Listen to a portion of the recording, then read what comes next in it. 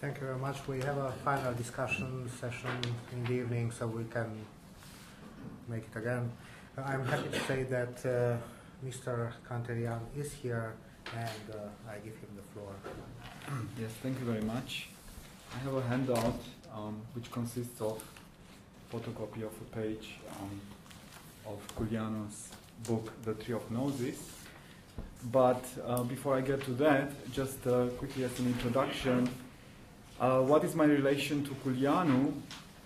Well, I'm not at all an expert in the history of religions or Gnosticism. In fact, at best, I'm a total amateur. Uh, I have read many, many books by Culianu and by Eliade, Eliade as a hobby and for biographical reasons. And um, what I would like to, do, to try to do is to present a certain theory by him, the so-called theory of morphodynamics, and then um, give, offer some critical remarks. Um.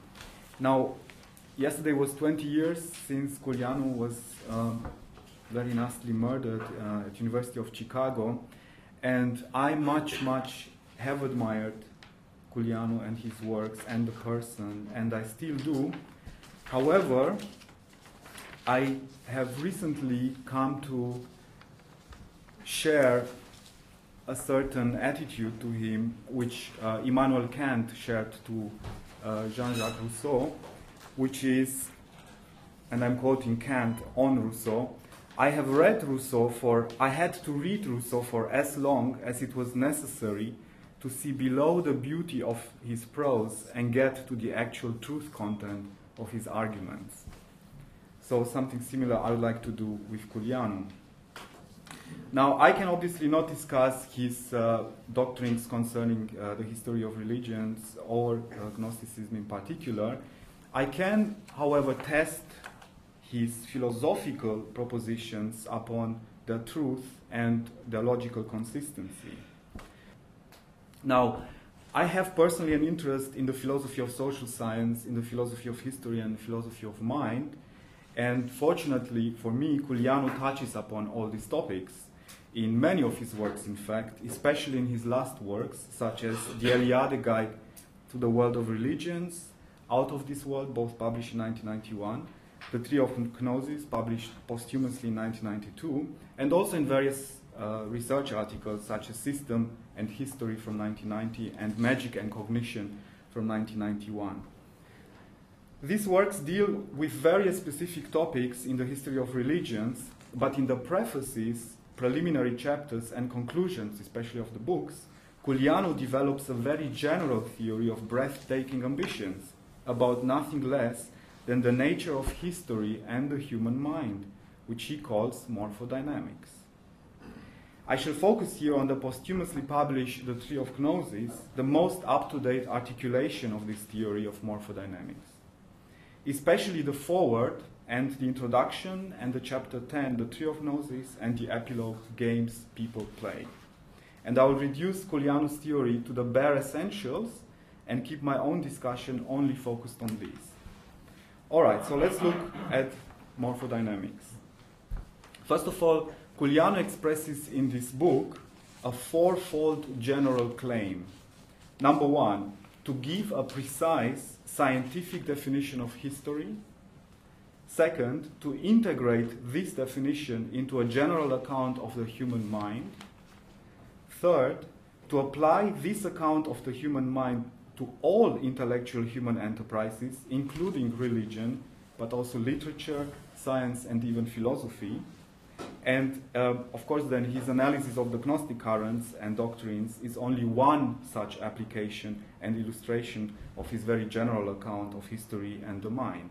And fourth, given the specific computationalist account of history and the mind he offers us, he wants to predict history for example, to predict the future development of intellectual human enterprises.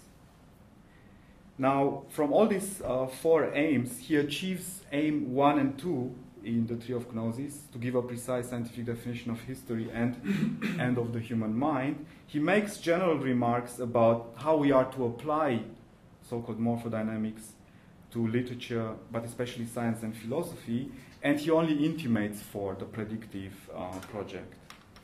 Culianu starts with a desideratum, and I quote from the preface Our modern view of history is vague and outdated. It is in need of radical revision in the light of what is occurring in the most sophisticated areas of knowledge, whose worldview started changing a hundred years ago. The discipline of history failed to join this trend. This is an embarrassing situation.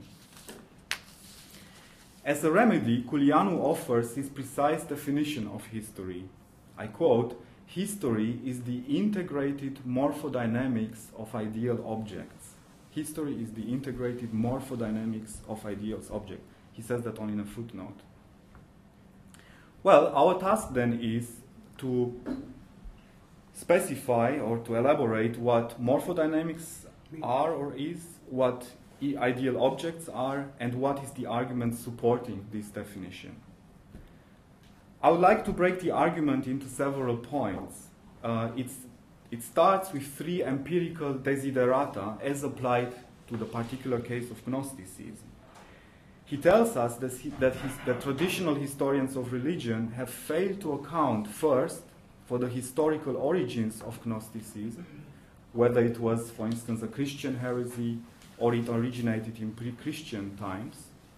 Second, the historical development of Gnosticism as one school of thought or temporal succession of, doc- of Gnostic doctrines were also not accounted for by the historians of religion.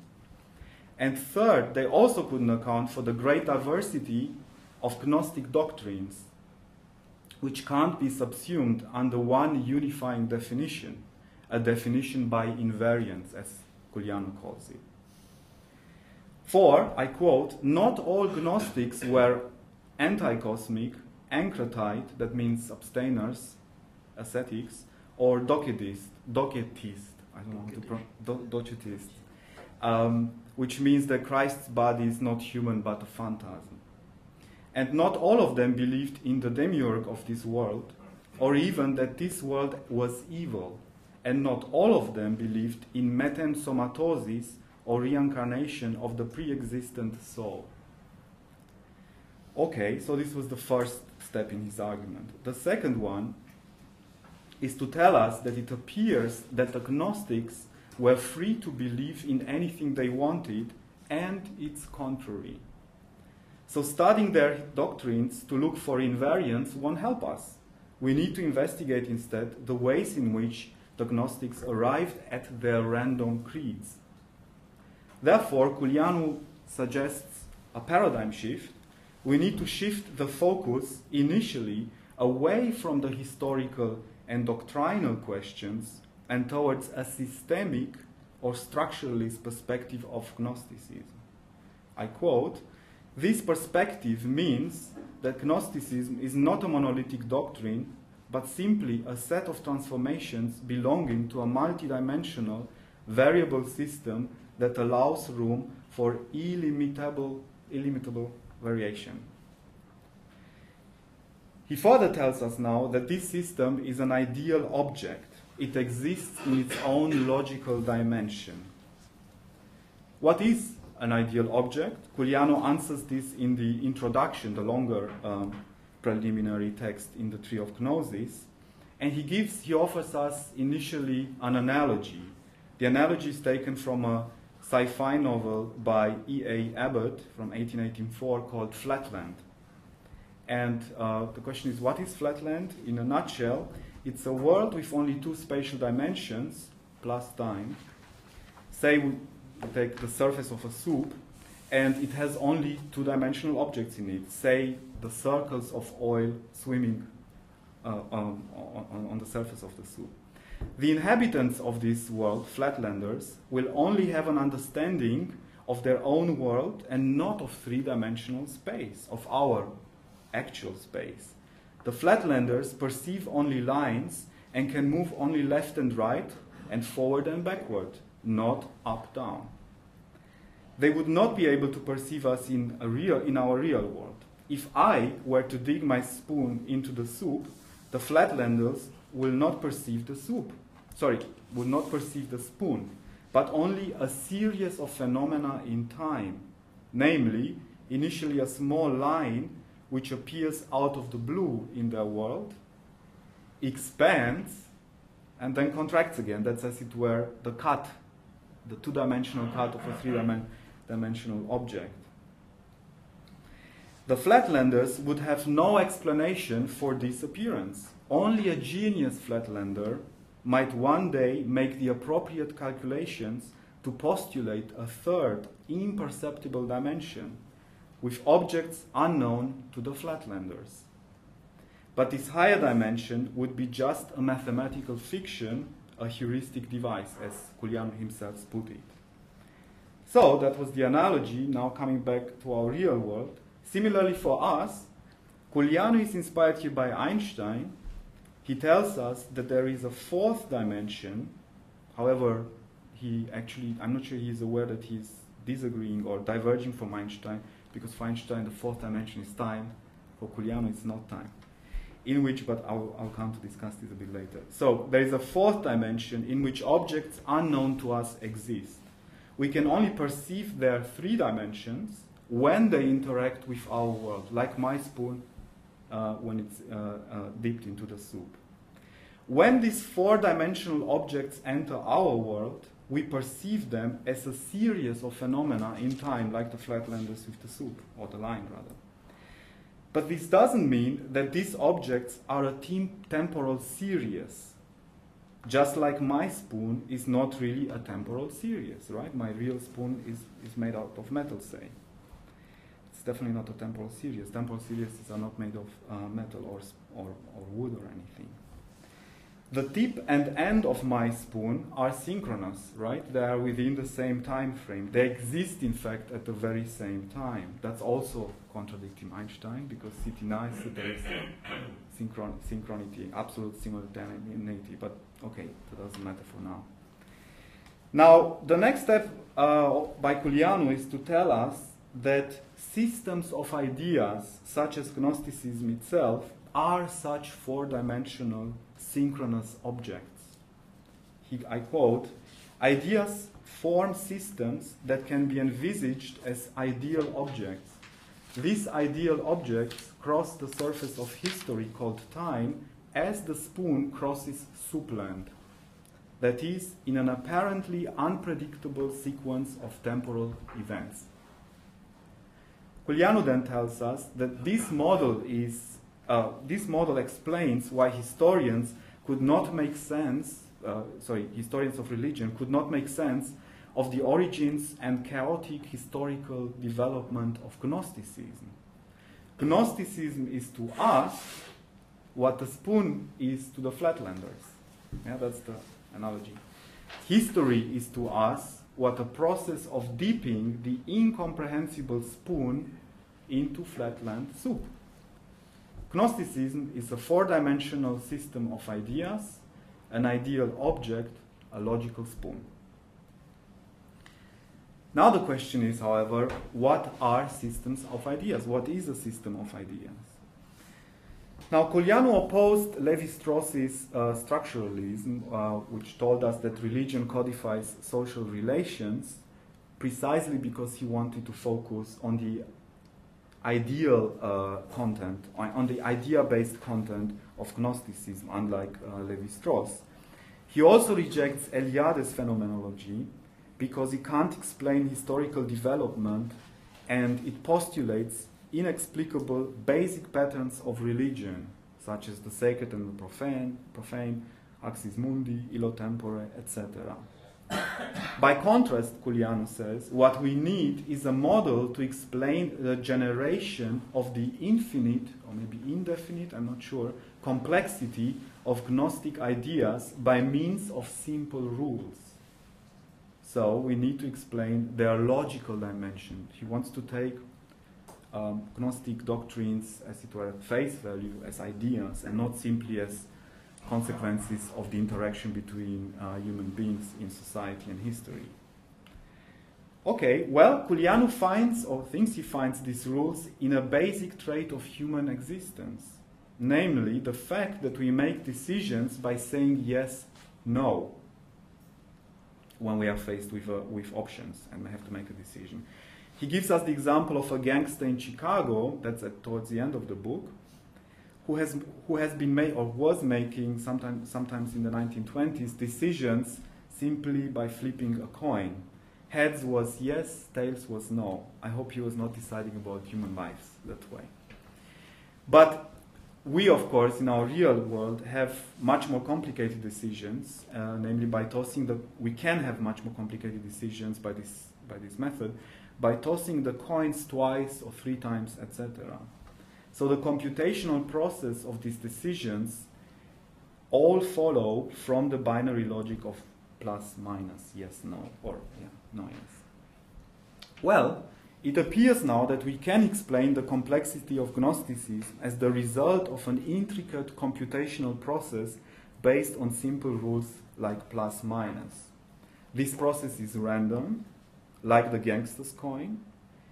It starts with some random basic assumptions or options and then pro proceeds via the binary logic, um, etc. So he Culianu infers from that that the Gnostic doctrines don't actually have any truth content. He explains this already in his previous book, uh, Les Dualistes d'Occident, published in 1990. The Tree of Gnosis is a rewritten and thoroughly revised version of that book. And, uh, and Culianu tells us that the doc Gnostic doctrines are just results of so called mind games played by the Gnostics. I'll quote, the main theological debates that led to the establishment of Christian doctrines were of, of, sorry of the Orthodox Christian doctrine were mind games played by people with one another for centuries. Mind games not unlike chess, only perhaps less complex, which would not have had any consequences for the parties involved and could not be won, unlike chess. Yet they nevertheless accomplished the moral and physical destruction of many human beings. Like Western dualism, likewise, sorry, likewise, Western dualism was a mind game. So he's applying this whole mind game theory not just to Gnosticism and dualism in general, but even to questions within Christian theology. And he tells us, uh, so unquote, he tells us that the physical destruction only came about because the game of Gnosticism interfered with another game, the game of power, which is an altogether different game. But in principle, it didn't have to. It's just a nice, beautiful game, has no truth content whatsoever. Why would you want to kill anybody for playing chess, the game of Gnosticism? Okay, so to give you an example uh, concerning Christology, not uh, Gnosticism, this is on the handout, illustration from page, the tab table uh, from page 15.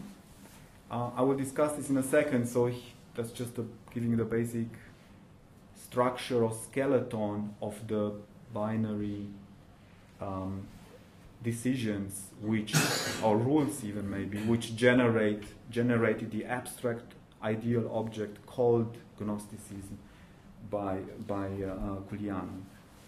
Okay, what does he tell us about this particular table? He tells us Christology, if interpreted as a viable whole, is not a succession of anarchic, unrelated events in time, but a system made of binary switches that, much like the spoon in, sp in Soupland, crosses time in an unpredictable sequence.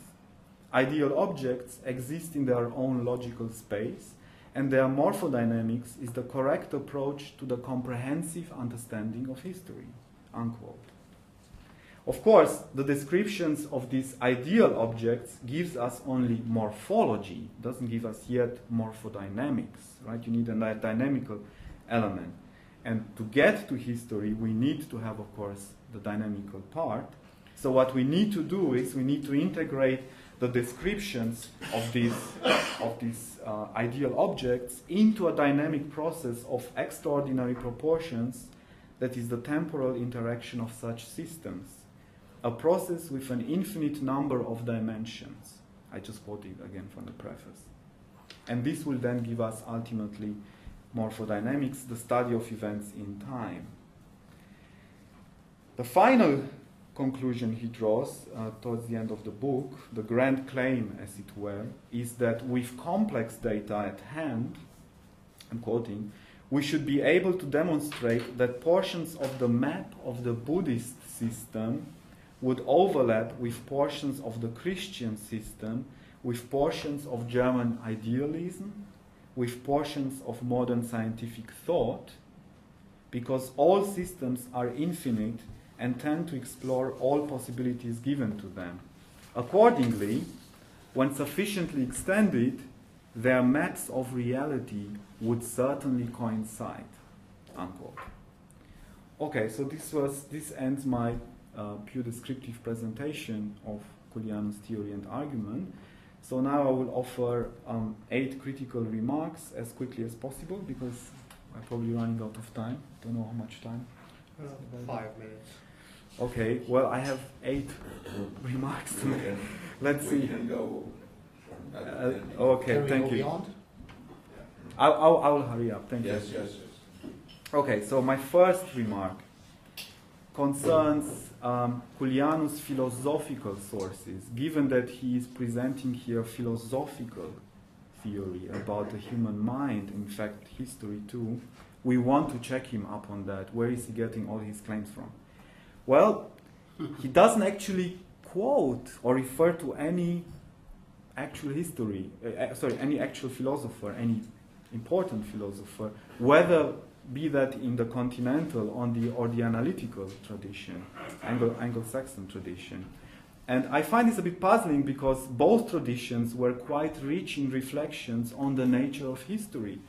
We had, for instance, Hegel and Heidegger in the continental tradition, and we had Arthur C. Danto, uh, Charles Taylor, and W.H. Walsh in the analytical tradition. And what's also curious is that within the Anglo Saxon analytical tradition, there was a very intense debate about the nature uh, of history within philosophy in the 1960s to 80s, so precisely during the period of Culianu's intellectual formation.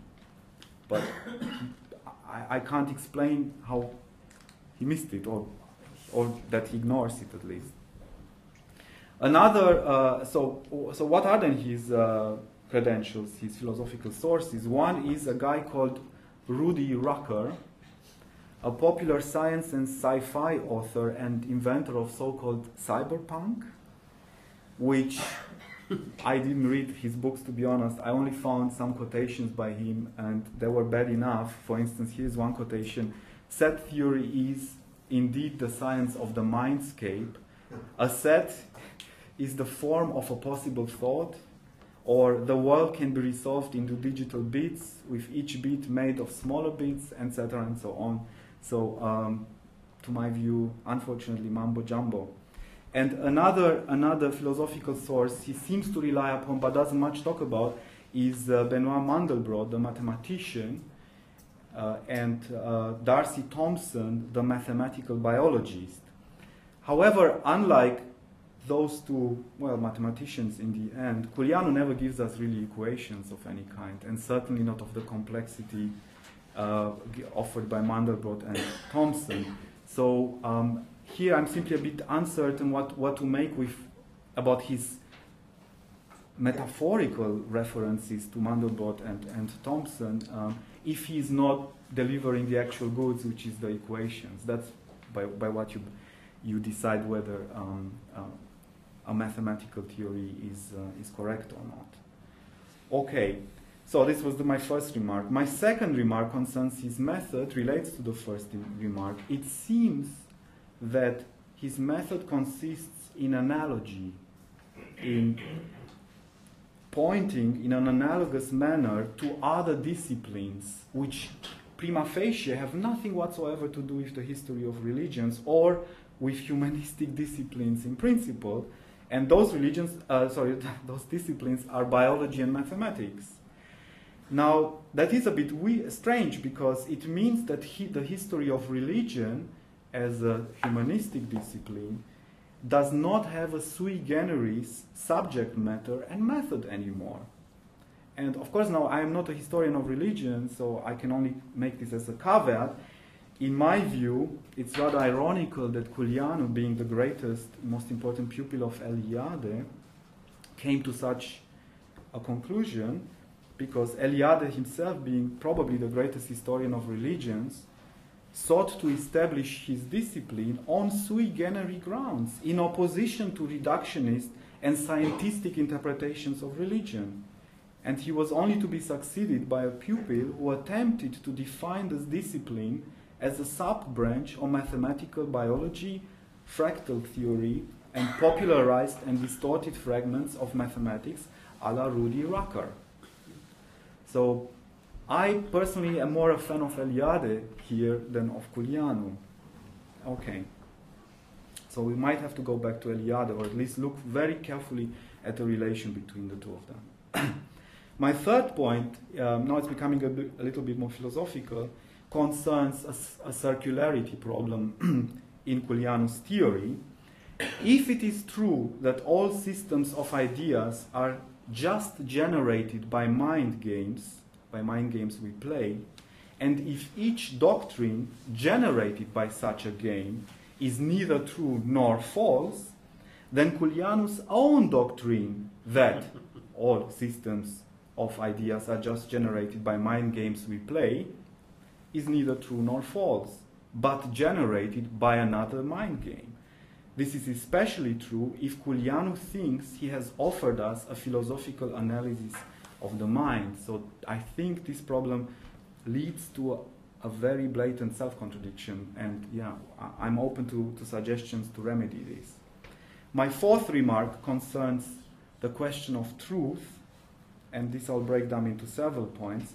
First of all, it seems to me there is an unclarity about Culianu's analogy with, with the Chicago gangster it's true that I can devise a code which represents, say, our, our alphabet by, you know, simple elementary signs plus minus, say.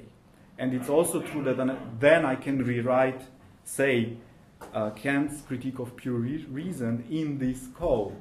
Yeah, it's trivial. Of course, we can do that. But it, or, or, or Newton's Principia Mathematica, if you want. But it doesn't follow from that that the question of the truth of Kant's propositions in the critique of pure reason on in Newton's Principia Mathematica will be affected by this codified writing. Okay, the problem about truth here and the analogy of the gangster. My second, point, my second point concerning truth is Culianu says Gnostics were free to believe in anything they wanted and in its contrary. But of course, the truth is, not at the same time and not the same Gnostic at the same time. So it seems to me that's just wrong. It, I mean, it's not true that each Gnostic believed everything and its contrary at the same time. It's a fallacy. So Culianu infers from the randomness, diversity, and incompatibility of all Gnostic doctrines to their lack of truth. And that doesn't seem right. Good. My third point concerning truth. Culianu effectively ignores the question of the truth of Gnostic doctrines and, in general, the truth of doctrines or proposition. He gives us, at best, a rule to generate doctrines and a possible explanation how Gnostics, philosophers, scientists arrived at their doctrines, almost psychologically how they arrived at them. But this doesn't mean that the doctrines in question have no truth content and can't be accordingly evaluated. He confuses the origin or generation of a doctrine with the logical question of its truth. Again, I have to bring in Eliade, his, his teacher. Eliade had insisted on this point, on the distinction between the origin and generation of a doctrine and, and, its, and its truth or validity, it's in fact a Husserlian distinction and Fregean distinction. Many, many philosophers make this distinction. So Eliade insisted on this distinction since his earliest years. If you go back to his Romanian essays, his earliest Romanian essays on the study of the history of religions in uh, soliloquy, for, in- soliloquy, for instance, he makes this point. Um, also, personally, I think it's quite likely that even as a factual description of how the Gnostics arrived at their doctrines, Culianu is not correct. Um, I mean, I certainly know that he's wrong about philosophy. The great philosophers did not toss any coins when they came to their propositions. That's just absurd. They engaged in arguments and reasoning with their predecessors. Okay, so Culianu seems, however, to have Okay, good. So that, that was the, um, the final point. Now, something to defend him on the question of truth. He seems, however, occasionally to intimate that he does have a notion of truth or correctness. Uh, it's, however, unfortunately, it is Nietzschean or postmodern. Uh, it equates truth or correctness with power, and uh, he gives us the following criterion for the correctness or wrongness of a of a result generated by, by uh, mind games, I quote, Life is a multiple choice mechanism. Myth too, and in myth, as in life, the wrong choice can be deadly. It proved indeed deadly for many innumerable Gnostics. It seems astonishing that so much blood was shed for so little. Unquote. So he's telling us actually some choices are more correct than others and some are worse than others. But of course, why were some choices worse than others? Because they interfered with the power game. So the connection between truth uh, uh, and, and reality is via power. Okay, and I, I do think that Nietzsche's account of truth is one of the most appealing you'll find in the philosophical literature on truth. My fifth point, now moving away from truth, is a certain unclarity about his analogy to flatland and Einstein's four dimensions. Culianu calls ideal objects mathematical fictions and he calls them a heuristic device. He may well be right about that, I don't know. But then he can't tell us that Gnosticism or history in general is an ideal object if he has just told us that ideal objects are mere mathematical fictions and heuristic devices. So that's just an unclarity. Maybe I misunderstood something about his argument. And now to my final three points. He's telling us, I quote, that the ideal objects cross the surface of history called time as the spoon crosses soupland, enters soupland.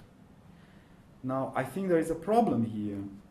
Time is not just part of the three dimensional world right? If Gnosticism is an ideal model that crosses the surface of so-called history, which is called time, according to himself, I think he's not correct about it because time is not just a, a dimension of our physical universe. In fact, it is a dimension in flatland, even according to Abbott, uh, because things happen in flatland too, right?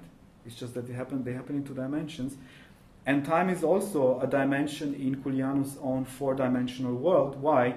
Because the ideal objects seem to have a temporal dimension, right? They enter our three dimensional world. That's talking about movement. Okay. Uh, and okay, to my last point, two points. And so the analogy of flatland is unclear. In flatland, the third dimension is inaccessible. But for us, studying Gnosticism, there is no inaccessible fourth of, or fifth dimension. I really don't see his point here. I don't see what we are missing when we are studying the, the, the doctrines uh, of Gnosticism. What is this imperceptible, unknowable, or, or um, aspect of Gnosticism? In fact, he has given us himself two dimensional representations of, the, of their doctrines. So consider the following argument we represent a historical event, take the Second World War, in two dimensions, right? We can do that. I could draw this on the board, start with 1939 and finish with 1945, and, and show you all the events uh, in, in two dimensions. Now, that's unproblematic.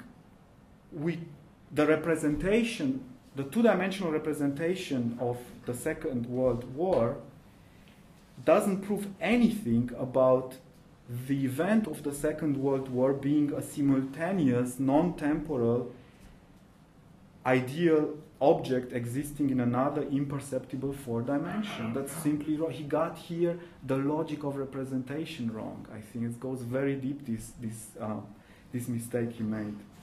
And in fact, this is all Culianu himself has done. He has given us a two dimensional representation of the logical semantical relations between Christological uh, doctrines uh, here on, in this diagram or, or Gnostic doctrines in the entire book.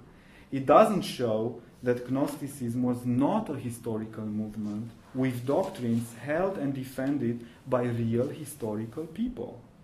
In fact, Culianu himself admits implicitly the temporal dimension of Gnosticism, since he ascribes movement to the Gnostic spoon, to the ideal object. Just like the soup spoon in the flatland analogy needs to be moved by me to enter flatland. So it appears that he hasn't given us an explanation or a precise radical new definition of history. Rather, he has presupposed history as the process of the spoon, the, the Gnostic spoon, moving in and out of the soup called our real world. And the last problem is one is a, is a more technical logical problem with table on page 15. Uh, it doesn't seem to me obvious that strictly speaking all the relations involved are binary and anyway what does he mean by binary does he mean by that what logicians call contradictory if you have two propositions one must be true one must be false example is it is raining or it is not raining right one must be true one must be false Right? or does it mean by binary relations contrary relations? When you have two propositions which both can be true at the same time. An example would be my hat is green versus my hat is blue, right? They can't be both true at the same time, but one might be false. Whereas if a contradictory proposition, one can't, one must be true, one must be false. Okay, etc. So quickly, my conclusion I'm not so sure that he has, he has given us a precise scientific definition of history, if there is such a thing. Why should we think there is such a thing?